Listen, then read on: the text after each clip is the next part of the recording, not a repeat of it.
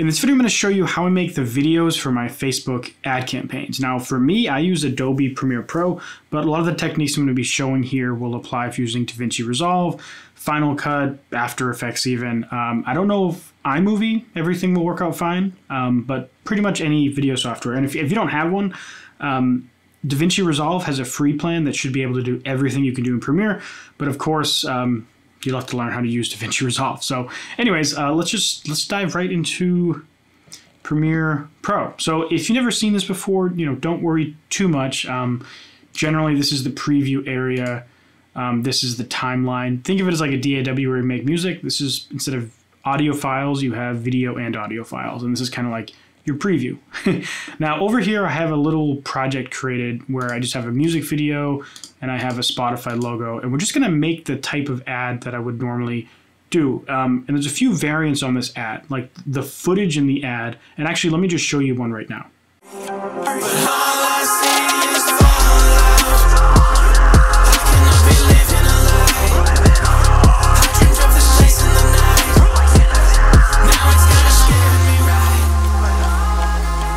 So that was just one example of an ad. The actual footage you put in there can vary greatly depending on you, your creative style, the videos you have. Um, I'm just going to be using a music video that I made for one of my songs, Fire. Um, so what I'm going to do in Premiere, I'm going to right click this footage and make a new sequence from this clip. And it's going to think. So now I have my footage in here and I got the music video. So the first thing I'm going to do is I want to make my video vertical. So if you're not working in Premiere, you'll have to figure out how you can make your timeline. Like right here, it's horizontal or like a normal kind of thing. Um, you know, 16 by 9 that way. But I don't want that. So I'm going to right click this, go to sequence settings, and I want it to be 19, I want it to be 1080 wide by 1920 tall, which is like story size vertical. Um, that's cool. So now it's vertical. So I can shrink this.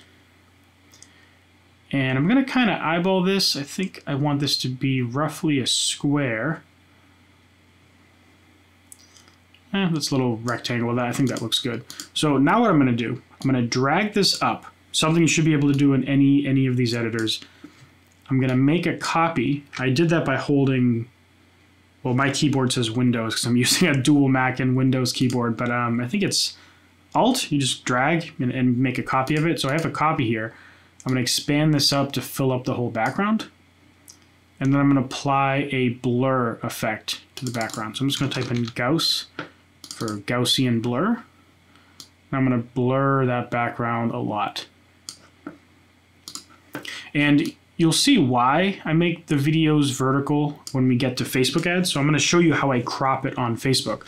Technically, you can make multiple size video ads and upload them all to Facebook. I like to make one size and um, just crop it on Facebook. um, so if I keep that, that looks pretty good. Um, next, I think we're going to add the Spotify thing. And I'll just drag this out for now. So I'm gonna shrink this. And by the way, if you're wondering where I get the logos and stuff, um, I'll put a link to the like the official Spotify place to grab the logo. Um, it comes in different colors. It comes in different types. So um, I think I'm using the the full logo green. I mean, you can see it. It's full. It's a full logo and it's green. So I'm just gonna drag it there. I'm gonna click T to get some text. I'm just gonna write "listen on." Very simple. now you, you can play around with this. Feel free to get creative. Um, you know, we shouldn't all be doing the exact same ads, but you know, there's a lot of freedom you could you could have. You could be like, stream this on Spotify, whatever. So he, here I'm just lining this up by eye. Um, that looks pretty good. Cool. All right. So um, essentially, like I have a ad. Like if I click play for a little bit, I don't know how deafening this is going to be. So I'm just going to go here and turn this volume down a lot so it's not deafening.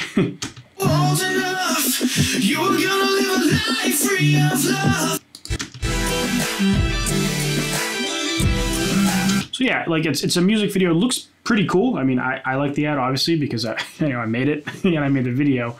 Um, but now it's just for the whole thing. Now I really just want a 15 second chunk. So you would try to find you know, usually I would recommend multiple ads, and I'm just going to find one here. But ideally, you would make several of these. And the way to do this is now this that this is extended across, I can like.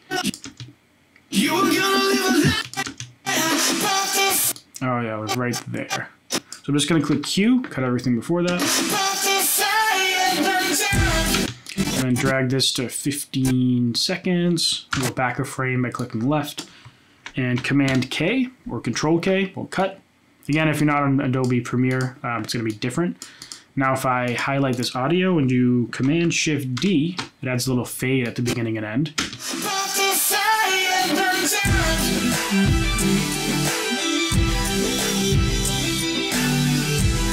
Sweet, and that's that's our first ad. Now you could spice this up a little bit. Like I can click on, um, let's see, I could go right here, and I could automate the scale and position, and then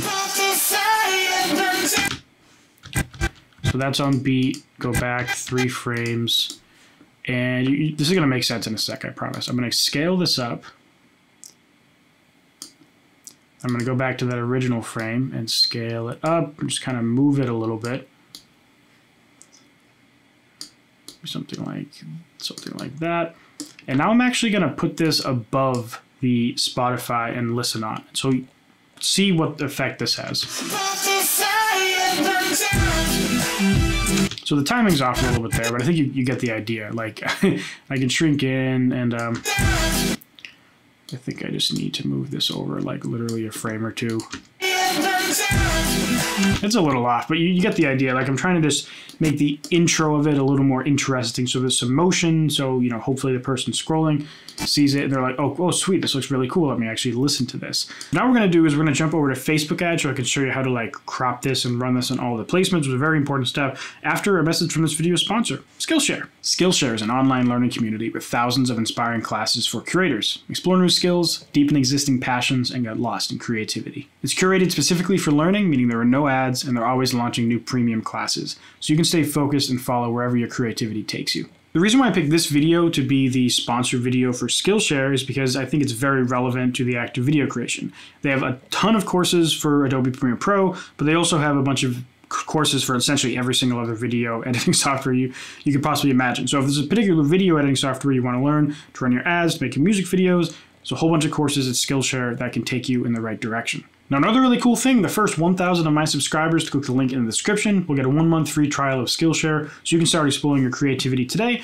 So you can try it, see if it's for you, learn a bunch of stuff, and if you enjoy it, keep going and keep learning those skills. Um, learning new stuff is incredibly important, you know, if you're being a music artist because we kind of have to wear a million hats. Um, and so sites like Skillshare uh, can be can be very helpful to learn how to do each of those little hats you have to do along the way, especially if you're doing it on your own. Anyways, let's go back to the video and to Facebook ads. All right, so now we are in Facebook ads, and I just made an empty ad. You know, you, you create your campaign the, the normal way, which check out, this is my most recent video on how to make a campaign. We are going to, I'm going to delete this video because I need to show you how to add a video. That's kind of the whole point of this, this section here. So I'm going to do add media, add video, and it's going to load. And I'm just going to pick one of the, um, one video that's relatively similar to this. So this is the kind of the same format of the ad we just made, um, except this one was with a still image. So instead of using a video, like when we did it in Premiere, we used a video and I animated the size of the video and I, I positioned a certain way. This ad is the same thing, except with an image. So I'm just gonna click play. Actually, I'll just overlay and show you this ad. Affinity, for. I can't believe you're kidding me. We'll never see. That's the ad. Obviously, in this case, I, I put the word pre-save because I was doing some testing with pre-save campaigns, but by the way, pretty much a waste of time unless you have a really large budget. Um, so, but you know, we said listen now. So um, you see here we get this error, add undeliverable to Instagram feed. And this is where the whole cropping thing that I mentioned comes into play. We made our video to look great in a vertical placement. Um, but if you size it correctly, what you can do is you can click this edit group button on feeds and in-stream videos. You can go to crop 4x5 and you'll see your ad looks pretty solid. Like this is the preview for what the ad will look like after it's cropped. You could do one by one, Um, and then here I actually size it as a square, so like it perfectly just cuts this out. In this case, this would be boring because it'd just be a still image. But if you had a video here, that might look really cool. It kind of is your preference if you want to keep the, you know, listen on Spotify thing. And you could design your ad different ways if you don't like the kind of like background at the top and the bottom. You can design your ad around that. You know, it's it's totally, totally up to you um, how you do this. But what I do is I design the video as this vertical but I design it in a way that when I crop it, it doesn't look horrible. And I've seen a lot of people mess this up where they um, they have they design this video that looks great on stories. It says swipe up on it. The problem is when they run that out on feeds, it still says swipe up. And if you swipe up on an ad in a feed placement, that essentially is the same, same thing as skipping that ad, right? You're scrolling past it. So, um, you know, keep in mind, it, one thing you can do, and actually this probably would be good to show you, if you want to just design like a square video for feeds or 4x5 for feeds and then a vertical for stories, you could make a separate video and just click change instead and upload a new video for this instead. So some people prefer to design all their ads one by one. I'm lazy, so I just do crop, call it a day, and for me, this is how I've been doing it for two, two years, something like that. And so it's it's never really let me down. Um, I don't think you know designing your ads, custom things, that's great, but um, at the end of the day, I don't think it's going to make the the biggest difference in the world comparing to just testing different parts of your song and different video styles. Um, you know, this is a completely different type of ad than the first video I showed you and that we actually made in Adobe Premiere Pro. So if you want to learn more about how I actually run my Facebook ad campaigns, I do have this playlist right here full of a bunch of awesome videos that'll help you through that process. And if you're also interested, I do have a fully organized course that's that's right here that I actually just added a whole bunch of new content to um, called Spotify Growth Machine. It's also linked in the description if you're interested. Thanks again to Skillshare for sponsoring this video, and I'll see you in the next one. Bye.